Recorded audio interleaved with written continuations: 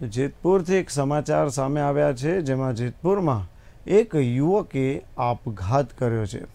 આ યુવકે કયા કારણોસર આપઘાત કર્યો છે તે હજુ સુધી જાણવા નથી મળ્યું, પણ સ્વામિનારાયણ ગુરુકુળ પાછળ રહેતા આ યુવકે ઘરે ગળે ફાંસો ખાઈને આપઘાત કર્યો છે.